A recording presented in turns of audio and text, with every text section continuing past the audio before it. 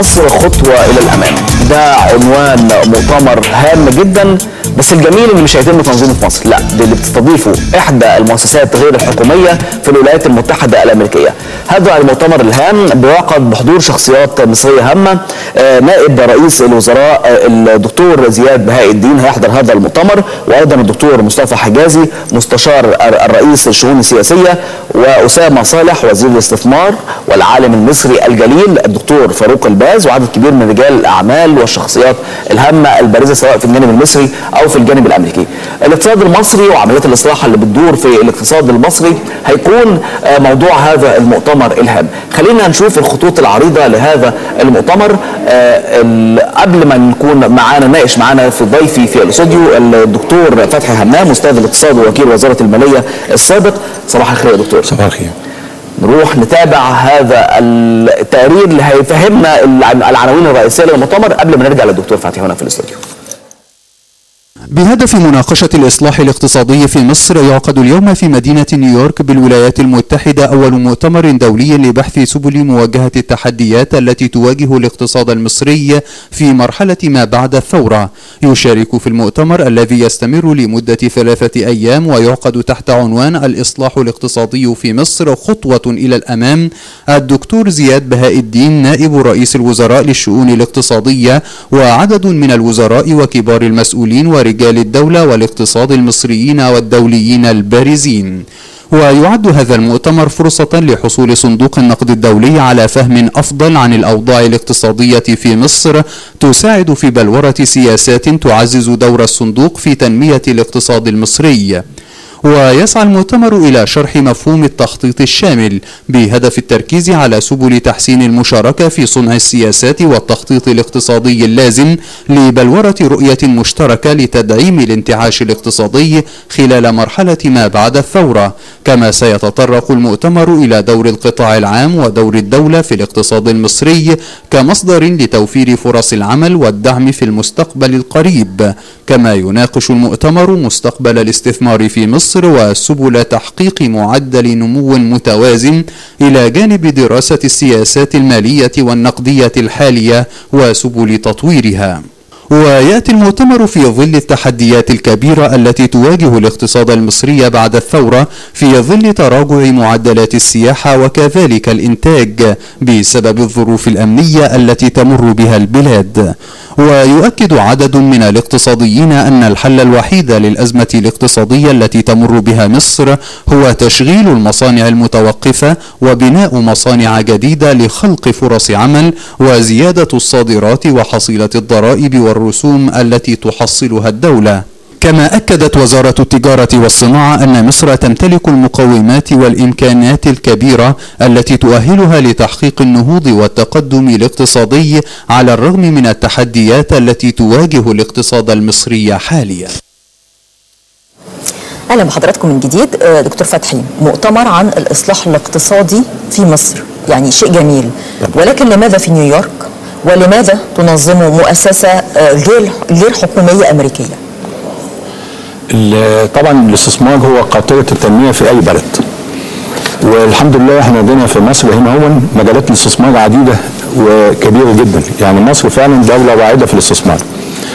قانون الاستثمار بيحدد أنشطة كتيرة جدا ممكن المستثمر يستثمر فيها. منها الاستصلاح الأراضي ممكن مشروعات صناعية الفنادق ال- مشروعات النقل الطيران ال- المستشفيات اللي هي للعلاج. كل دي مجالات الاستثمار اتكلم عليها قانون الاستثمار. وقانون هو 8 سنه 97 نعم. هذا القانون برضو إدى ضمانات وحوافز كبيرة جدا للمستثمرين. من ضمن الضمانات إنه لا يجوز تأمين المشروعات تحت أي مسمى ولا يجوز مصادرتها. ده للأجانب ولا للمصريين؟ لكله. لكل اللي بيخضع لقانون الاستثمار ايا كان سواء كان مصري أو عربي أو أجنبي. كل من هو يستثمر تحت ظل قانون 8 سنة 97 بيتمتع بهذه الضمانات لا يجوز المصادرة لا يجوز التأمين لا يخضع للتسعيره الجبرية. آه، قوانين العمال ما يخضعش ليها. انه طبعا بيبقى فيه قواعد خاصة بعقود عمل برضه يعني كويسة ممكن في حماية. نعم يا فندم. أيوه لو كان في أحكام قضائية بقى نتيجة مخالفات أو حاجة زي كده. يعني إنما ال- ال- القانون بيضمن له مفيش تع- إجراءات تع- تعسفية ضده. آه ليه حرية الاستيراد والتصدير؟ مش ضروري كله عنده سجل مصدرين أو سجل إنما يستورد.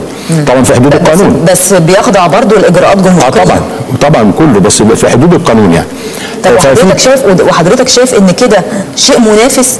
يعني مثلا لما نشوف إن دول الخليج كلها عندها مناطق حرة آه. آه، بشكل يعني في في تسهيلات غير طبيعية لأي مستثمر إن هو يدخل. فهل ده شيء يخلينا إن إحنا ندخل على آه، يعني آه، صعيد المنافسة؟ إن شاء الله. هو برضه في قانون الاستثمار بينظم المناطق الحرة. عندنا في مصر في مناطق حرة كتير. آه مش بورسعيد بس. بورسعيد مدينة حرة مش منطقة حرة. المناطق الحرة منتشرة في الجمهورية.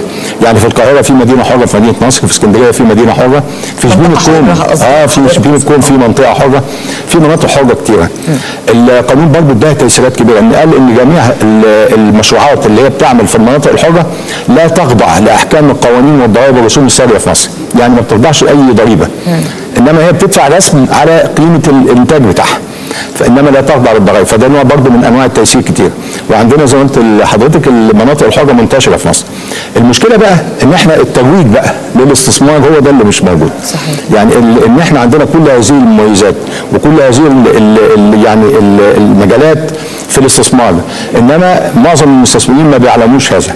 وبعدين بنيجي ساعات برضه في التطبيق بيكون التطبيق التطبيق فيه بعض ال- السوء وبعض ال- يعني ال- الحاجات اللي مش مظبوطة فبتخلي التطبيق برضه يبقى سيء يدي انطباع سيء عن الاستثمار عندنا. مش لكن كويس. السوق المصري يخلي المستثمر الأمريكي يفكر فيه يعني, يعني إحنا عارفين مجالات الاستثمار ال- الأمريكي الخارجي عموما بتبقى في أي مجالات وفي أي شروط وفي أي ظروف. هل ال- ال- الطبيعة المصرية أو طبيعة السوق المصري مشجعة بالنسبة للمستثمر مشجعة جدا وهم بيتمنوا إن هم يستثمروا في مصر سواء كان مستثمر أمريكي أو أوروبي أو عربي. الكل يتمنى إنه يجي يستثمر في مصر. لأن مجالات الاستثمار عندنا آه، زي ما انت حضرتك متوفرة في كل المجالات. آه، السوق عندنا كويسة جدا. العمالة عندنا آه، موجودة وأسعارها تعتبر رخيصة جدا بالنسبة للعمالة. اللي كمان موقع مصر الجغرافي اللي هو قريب من كل الدول اللي هم بيسوقوا فيها معظم الإنتاج. بس يعني هو العوائق والبيروقراطية اللي بتحطها الدولة عائق أمام بالظبط. والنقطة الثانية بقى اللي هي برضه الحرفية في التسويق لهذا الاستثمار. إنك تيجي تستثمر عندي ظروفي كذا أوضاعي كذا بديك المميزات دي بديك الضمانات دي آه والتطبيق العملي يكون مطابق للي أنا بقوله. حضرتك تقصد إن المؤتمر ده بيعقد في أمريكا كشكل من أشكال التسويق للاستثمار في مصر. وهو يعني برضو ال- ال- التوقيت كويس جدا. لأن النهارده طبعا الجمعيه العامه للامم المتحدة هيبقى فيها اجتماعات في رؤساء هيحضروا في وفود كتير هتحضر من كل دول العالم. فكون إن أنا أعمل هذا المؤتمر وهيتنشر طبعا في الصحف ومجلات وحاجات زي كده فرصة إن أنا أطلع كل دول العالم على مجالات الاستثمار في مصر والضمانات والحوافز اللي بيقررها القانون للاستثمار في مصر. إنما برضو في بعض بقى المشكلات ان إحنا برضو لازم عشان ننطلق يبقى لازم نقضي على هذه المشكلات. آه، من ضمن المشكلات عندنا العماله المدربة. عندنا عماله رخيصة بس العماله المدربة على التكنولوجيا الحديثة دي مش موجودة. يعني أنا عندي في مصانع كتيرة في آه، زي في العاشر من رمضان بيدوروا على العمال. يعني هم عايزين عمالة متدربة على المكانات الحديثة. ذات التقنيات العاليه ما بيلاقوهمش إلا ليه ده ما يكونش شرط بالنسبة لأي مصنع إن يبقى فيه نسبة معينة آه، زي ما بياخد تسهيلات في مجالات كتير زي ما بياخد حتى دعم في الطاقة وفي غيرها ليه ما يكونش ده آه، آه، شرط إن يبقى فيه تدريب مثلا لنسبة معينة من العمالة هو- يعني. وهو يستفيد منهم؟ أيوه هو بيحاولوا بقى دلوقتي بعض المصانع تعمل كده. إنما إحنا بنتكلم على أساس إن إحنا في مصر التعليم لابد أن يراعي هذا.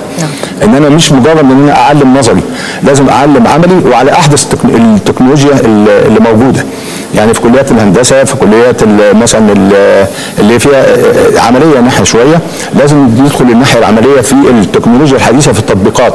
العامل مش مجرد إن هو مثلا عامل في مصنع ملابس مش مجرد انه يقعد على المكنة دي المكنة دي اللي باليد ودي كده وبتاع انتهت.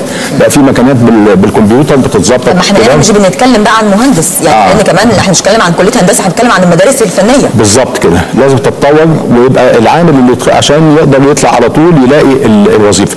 وعندنا في مصر الحمد لله. يعني المفروض إحنا عندنا بطالة عالية إنما عندنا فرص عمل كتيرة. بس العملية تأهيل. إذا أهل يعني أهل هؤلاء الأفراد إلى إن هم يكونوا مؤهلين للعمل في هذه المصانع. فأنا بأيد هذا المؤتمر ويا ريت إنه يتكرر مش بس في أمريكا وفي أوروبا وفي الدول العربية. وكلهم عندهم استعداد قوي جدا للتع... يعني إن هم يجوا في مصر. اولا مصر بلد مضيافه بلد جميلة جدا وكل اللي بيحب يقعد فيها.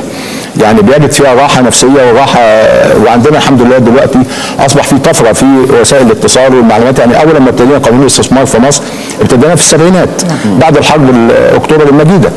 كان طبعا في مشكلات في النقل. في الاتصالات. كان عشان المستثمر عاوز يتصل ببلده ما بيلاقيش نت ما بيلاقيش آه، كانش تليفونات. موجود النت أصلا. آه يعني ما كانش فيه ده دلوقتي الحمد لله مصر يعني الحمد لله آه، خطت خطوة كبيرة في هذا فأصبح الاتصالات سهلة المطارات كلها موجودة في كل معظم مغطية معظم مصر يعني في الصعيد في مطارات في آه، مثلا في اسكندرية في في الغردقة في, في يعني الحمد لله. يعني فطبعا البنية الأساسية اللي اتعملت في الفترة اللي فاتت دي ممكن إنها تشجع لنا الاستثمار جدا. بس عاوزة دعاية وعاوزة التطبيق بقى يكون على نفس المستوى بتاع جودة القوانين والتشريعات. عايز تبقى زي ماليزيا. يعني ماليزيا ابتدت معانا في نفس التوقيت. شوف ماليزيا حضرتك فين وإحنا فين دلوقتي. أيوة. فاحنا عايزين يا ريت نوصل بس لل- لشبه النموذج دوت.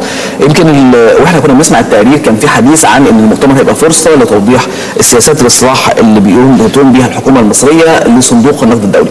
أيوة. موضوع القرض لسه مطروح ولا خلاص بقى؟ لو مطروح مش حاليا دلوقتي مش مطروح. لأن إحنا أصلا يعني اولا زي ما قلت لحضرتك ان ال- القانون يعني القانون بتاع صندوق النقد انه ما بيديش قروض لدولة إلا لما تكتمل مؤسساتها. الدولة تكون استقرت وعندها المؤسسات المالية بتاعتها والتشريعية وال- زي مجلس الشعب ومجلس الشورى مثلا وحاجات زي دي. بمعنى إن الرفض مش مننا. لا. يعني مش إحنا اللي رافضينه. آه إنما إحنا بقى. يعني الحمد لله الدعم العربي اللي جالنا الحمد لله قدر يخلينا جزء كبير نعوض هذا ال- القرض يعني. مش ما بقاش محتاجين. الودائع اللي جات لنا الحمد لله من الدول العربية الشقيقة. آه، قدر يعمل عندنا فائض في الاحتياط النقدي آه، بحيث إن إحنا الحمد لله ما بقيناش في حاجة ماسه إلى هذا. هو ال ال يعني القرض بتاع صندوق النقد كان ليه حاجتين. إن هو يديك الدولارات ده هي لأن كنا محتاجينها في فترة من فترات جدا. الناحية الثانية يديك شهادة إن الاقتصاد بتاعك قوي وممكن تتعامل معاه. خاصة إن مصر كانت تعرضت لأربع تخفيضات في التصنيف الائتماني الدولي. فطبعا التخفيضات دي بتأثر على ال- يعني الاستثمار بتاثر على على الاقتراض اللي انت تاخديه بيرفع سعر الفايدة بيحتاج منك بيانات كتيرة وحاجات زي كده. فكان ال- القرض بتاع الصندوق كان هيريح شوية في الحتة دي. إنما إحنا الحمد لله دلوقتي يعني كل ما الاستقرار السياسي بيبقى موجود في البلد والاستقرار الامني إن شاء الله يبقى موجود مش هنحتاج إن إحنا نقترض ابدا. الحمد لله إحنا عندنا مجالات استثمار واعدة. وهقول لحضرتك برضه على بعض الحاجات بقى اللي لازم تمشي مع تشجيع الاستثمار. لأن ده هيرفع من قدرات الدولة على طول في الاقتصاد وهيوفر عملة صعبة بسرعة لأن زي ما نقول الاستثمار. في نوعين. في استثمار طويل الأجل يعني بصرف عاوز أموال كتيرة وهاخد العائد بعد فترة. بعد- زي ما بنعمل مثلا كنا بنعمل مشروع السد العالي مثلا قعد 10 سنين يتعمل وبعدين ابتدى يدي آثاره بعد كذا. وفي مشروعات ممكن نعملها على طول وتجيب عائد بسرعة ومش محتاجة أموال كتيرة. ده هنتكلم فيه برضه إن شاء الله على أساس إن إحنا لازم نبتدي في الاثنين مع بعض. يبقى عندنا خطة قصيره الأجل عشان أقدر أعمل بعض المشروعات اللي هي توفر لي عملة أجنبية تقدر تشغل العمالة. أنا عندي مشكلة البطالة مشكلة رهيبة جدا. ولازم برضه ال ال يعني الانشغال السياسي اللي إحنا فيه ما ما يخليناش نتناسى. اللي هي جزء من من المشكلة السياسية. بالظبط كده. يعني البطالة هي جزء رئيسي من المشكلة السياسية والأمنية. بالظبط كده. حضرتك فإحنا إن شاء الله هنتكلم في الحتة دي إزاي؟ ان إحنا نعمل بعض المشروعات دلوقتي سريعة مش محتاجة أموال ضخمة تستوعب جزء كبير من هذه العمالة. ومين اللي هيقوم بده؟ يعني هل مستثمرين؟ هل الدولة؟ يعني آه، آه، مستثمرين أجانب؟ آه، حضرتك يعني إحنا هنقول إن إحنا أساسا إحنا نشجع الاقتصاد- المستثمر المصري. أهم حاجة. لأن أنا برضو لما عملت رسالة الدكتوراه في, ال- في الاستثمار كانت حضرتك ان إحنا كان في الوقت ده يعني عملت دراسة للمشروعات اللي هي الاستثمارية أول ما ابتدينا في السبعينات في تطبيق قانون الاستثمار لقينا إن معظم الاستثمار مصري وكان الاستثمار العربي والأجنبي لسه قليل. فكانت دي بيقولوا إزاي وبتاع مش عارف إيه. أنا قلت في الفترة دي هو برضه لابد يكون الاستثمار المصري هو الأساس لأن هو اللي يحميك. ما أنا لو قعدت على يعني معتمد على الاستثمارات الأجنبية بس ممكن في لحظة يسحبوها مني وأنا ألاقي نفسي مش قادر لأن برضه النواحي السياسيه ممكن تتدخل. فأنا كل ما يكون الاستثمار مصري وقائم بأموال مصرية إن أنا في الحالة دي هيبقى في دعم للاقتصاد بتاعي أكتر لأن يعني دي مشروعاتي أنا وكله إنما بقى في بعض المشروعات وبعض أوجه الاستثمار لابد أستعين فيها بجهات أجنبية اللي هي محتاجة بقى تكنولوجيا عالية محتاجة استثمارات كبيرة ما أقدرش أنا لوحدي أقوم بيها فدي لابد دي بتكمل دي. نعم. إنما أساس لابد أن يكون الاستثمار مصري وباموال مصرية وعربية. أيوه صحيح. آه، يمكن ال- المؤتمر كان في الأساس بيهدف إلى إنشاء مجالس اقتصادية بتكون كجهة استشارية للحكومة. عايزين نفهم يعني إيه مجالس استش- استشارية ويعني إيه مؤتمر في أمريكا بيدرس إنشاء مجالس اقتصادية في مصر؟ هو حضرتك إحنا عندنا طبعا ال- الاقتصاد فيه حاجات كتيرة.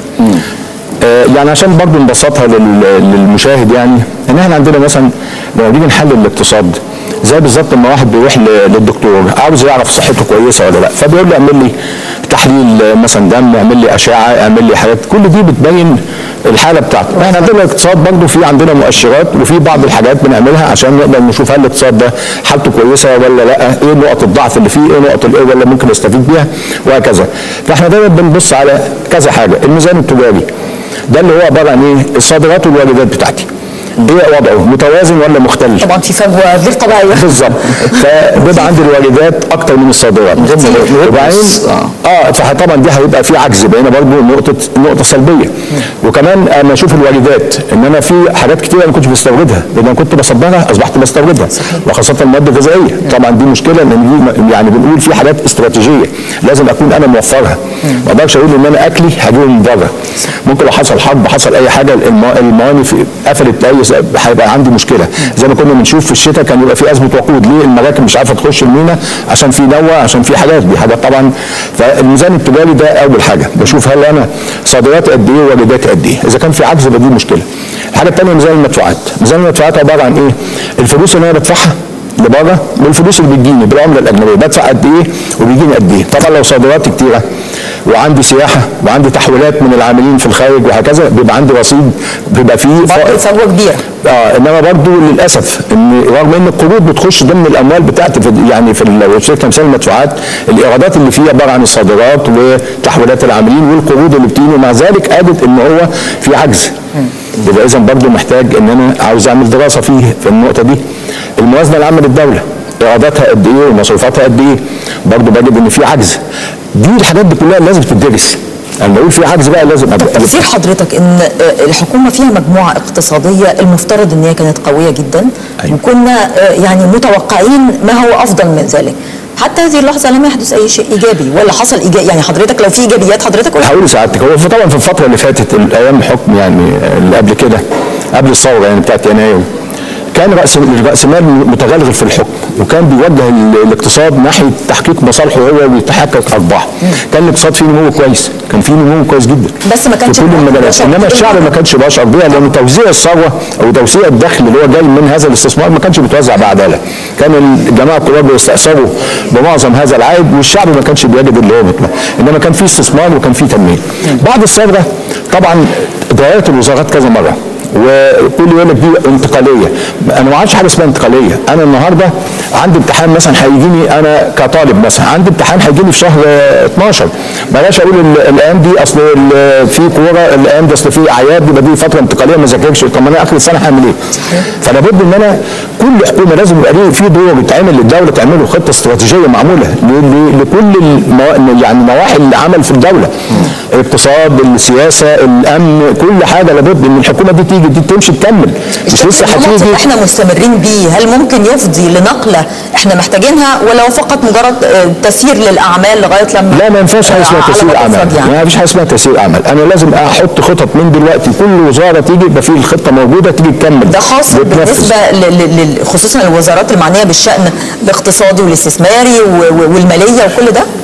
يعني حاليا الحمد لله آه أقدر أقول لحضرتك إن الحكومة ال- بتاعت الدكتور حازم يعني الحمد لله حكومة فعلا فيها فنيين كويسين في ناس عندهم خبرة كويسة في استقرار الحمد لله في جرأة لأن دي أهم حاجة إن أنا لما أبقى وزير آه أنا أحس إن أنا يعني هقعد شوية وأمشي أقول أنا مش عايز مشاكل ليا بعد كده أطلع يقولوا يقولوا أنت عملت القرار ده وأنت عملت لا ما ينفعش. ففي جرأة ودي أهم حاجة في القيادي. أهم حاجة شخص قيادي يتولى أي موقع لابد الجرأة يكون عنده الجرأة طالما إنه واثق من نفسه ومتأكد من الشغل إنما طبعا بنقول بقى إيه؟ عشان أبقى أنا جريء وعشان أبقى عارف لابد يبقى في خطة وفي بيانات سليمة. دي المشكلة برضه عندنا في الحكومة يعني من واقع خبرتي إن عندنا مشكلة البيانات الدقيقة آه، برضه قليلة.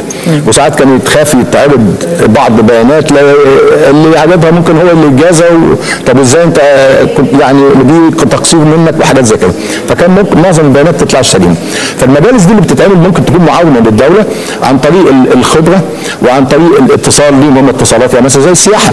ما أقدرش أقول وزير السياحه ولا حاجة السياحة كلها لا المكاتب الاستشاريه بره والخارجية والمكاتب التجارية ده لازم يكون كل دول بيشجعوا السياحة. يعني أنا زي ما بنقول- دايما الدبلوماسي اللي قاعد بره. مش شغلته بس اللي هي المراسيم والاستقبالات لا ده بيطبع بيانات بيعمل ترويج للبلد دي سياحيا وتجاريا وكل حاجة. فده اللي إحنا بنتكلم عليه. فإذا كانت هتتعمل هذه المجالس وفعلا هيبقى ليها دور في توفير البيانات الدقيقة والترويج والدعاية وهم ليهم اتصالات يقدروا يعملوا وفو- وفود شعبية راحة وفود شعبية جاية وهكذا كل ده مما لا شك هيبقى ليه تأثير كويس جدا. يمكن ال- المؤتمر كمان كان بيناقش أهمية دور القطاع العام اللي هو بيمثل آه، ثلث إجمالي الناتج المحلي حضرتك شايف دور القطاع العام في الفترة القادمة إزاي وهل هو هيبقى عصب رئيسي في نهضة الاقتصاد ولا هو حمل على الاقتصاد المصري ولا هو محتاج تطوير ولا محتاج محتاج خصخصة ولا محتاج إيه بالظبط؟ القطاع العام والقطاع التعاوني. برضه إحنا بنغفل هذه. ان القطاع التعاوني من أهم ال- الحاجات. وفي الدول الرأسمالية في تعاوني. ما إحنا إحنا للأسف عندنا صورة التعاون اهتزت لما ابتدينا نطبقها في الخمسينات وبعدين ما اتطبقتش بطريقة صحيحة ودخل فيها فساد كتير. إنما التعاوني عبارة عن إيه؟ إن أنا وحضرتك والأستاذ بنعمل مشروع إحنا بنعمله وإحنا ملاكه. فاحنا متعاونين مع بعض. يعني اذا هو ده التعاون. فدي نقطة مهمة جدا. لابد إن الشعب يشترك معايا. لابد ان الش- الشعب يشترك معايا ويحس إن هو ليه دور في البنى وليه عائد هياخده نتيجة هذا ال ال الحاجات اللي إحنا بنعملها والمشروعات اللي بنعملها. فالقطاع العام ليه دور مهم جدا، لا أحد ينكره خالص، بس ما يمشيش بالأساليب العقيمة اللي كان ماشي بيها في في الأول سواء بقى من ناحية تعيين مجالس الإدارة ويعني حاجات كتير بقى فساد كان في يعني حاجات زي كده، إنما في قانون بينظمه ولو مشينا على القانون صح وابتدينا نطبق ونعرف بقى المشكلات يعني أنا كنت قاعد مع مجموعة من القيادات بتاعت القطاع العام دي في فترة من الفترات يعني وكانت مشكلتهم فعلا مشكلات آه، فنية كويسه إن إحنا في القطاع العام ابتدى في الستينات. بعد في منتصف السنوات طبعا حضراتكم عارفين كان في نكسه 67 نكسه 67 دي طبعا أثرت على الاقتصاد ما بقاش في أموال كتيرة كان كله متجه للحرب وبناء جيش وحاجات وتعويض الناس اللي اتدمرت بيوتها يعني ما كانش فيه أموال كتيرة. فالقطاع العام كان مشكلته إن ما فيش إحلال وتجديد للمعدات بتاعته. قعدنا سنوات طويلة على نفس المعدات القديمة اللي جت. هذه المعدات اتغيرت. يعني كان زمان معظم المعدات دي بتشتغل بالمازوت وبالجاز دلوقتي بقى الغ- الغاز الطبيعي. الغاز الطبيعي يدي إنتاج أكتر وتكلفة أقل. نعم. فلو أنا استمريت بنفس المعدات القديمة دي هيبقى التكلفة عندي عالية وبالتالي مش هقدر أنافس. فاجي أقول الم- المشروع بيخسر يبقى لازم إن أنا أبيعه. لا أنا أشوف إيه المعضله وأصلحها. إذا كان على التجديد بتاع ال- الأصول يبقى لابد إن إحنا عندنا كقواعد محاسبة عندنا إحلال وتجديد واحتياطيات بنعملها عشان الحاجات دي. فلازم أجدد الأصول. القيادة والاداره ما كانتش بت- بتتعمل بطريقة علمية سليمة. كان بيبقى معظمها مجاملات وحاجات زي كده. فطبعا بيكون ناس ما عندهمش كفاءة ولا خبرة في إدارة هذه المشروعات. يبقى لازم هي القطاع العام مهم جدا ولازم أبقى عليه ولازم أطور التعاونيات. وأبتدي أزودها أكتر. بس, بس حالياً يعني بقواعد علميه في الوقت الراهن إيه المجالات ال- العاجلة جدا اللي ممكن الاستثمار فيها؟ وممكن آه، آه، يعني العمل الاقتصادي فيها آه، علشان توفر دخل وفي نفس الوقت تشغل آه، آه، عدد كبير من الناس اللي مش لاقي شغل. أنا قبل كده كنت برضه أعتقد يعني قلت إن إحنا عندنا في مشروعات مهمة جدا جدا جدا ولا بد نبتدي بيها. وعائدها يكون سريع عشان- هيكون. سريع. وعاوز أقول حاجة يعني في بعض الحاجات الدولة لما بتعمل مشروع مش عاوز المهم العائد النقدي ممكن يكون عائد هيعود على المجتمع ككل هيؤدي إلى تدعيم الاقتصاد بتاع الدولة. أنا بدي مثال أنا عندنا بحيره السد العالي. بحيره السد العالي النهارده بقى فيها كمية طمي وكمية آه، يعني موجودة ب يعني بكميات رهيبة جدا. الطمي دون في حين إن أنا عندي الأرض كلها مفيش تخصيب فيها فبضطر أستعين بالكيماويات وأستعين بالأسمدة وأستعين آه فأنا النهارده في ناس كتير فنيين وقالوا إن ممكن نعمل مشروعات عشان ناخد الطمي دون ونوديه للأراضي دي. يا إما بطريقة تحفير إن هو بيعملوا حاجة زي تحفير كده وبيعدي مع المية وبالتالي يخسر الأرض أو إن أنا بعمل زي مصانع بتع- بتعبيه في شكاوي زي الأسمنت كده وأبتدي أوديه للبتاع. ده ده, ده حاجة مهمة جدا. اولا هتدي عائد إن إحنا هنوفر استيراد الأسمدة وال- والكيماويات ونقدر بالتالي يعني صحة الإنسان بقى تتحسن بدل ما ناكل أكل معمول بكيماوي. أوفر حتى بالنسبة للمزارع نفسه أكيد أوفر. بالظبط كتير صحيح. هتبقى سليمة جدا. كصحة المجتمع وفي نفس الوقت هقدر اصدر لأن في دول كتيرة النهارده إحنا ليه عملنا مشروع توشكا؟ لأن معظم الدول الأوروبية وكل دول العالم ما بتستوردش أي أغذية من دولة بتحط مبيدات أو بتحط سمات في الأراضي فقلنا نعمل توشكا مشروع بكر إن هو نقدر نصدر منه صحيح. فأنا لو عملت كده صحة ال- الشعب المصري دي مهمة جدا كل دول العالم بتدور على صحة ال- المواطن بتاعها أساسا وفي نفس الوقت هيعمل عائد ربح كويس جدا كمان لأصحاب المشروع اللي هو ممكن يكون الدولة والمساهمين من مننا. يعني يعمل سهم ب 100 جنيه ب 150 كل يوم نروح نشترك ونعمل المشروعات دي بسرعة الحكومة مش كتير قوي بتهتم بصحة الشعب المصري. يعني الد- الدكتور آه، فتحي حبان أستاذ الاقتصاد ووكيل وزارة المالية سابقا. آه، مشكلنا دكتور بس الوقت الجري مننا. جزيلا. الله يكرمك. الحديث عن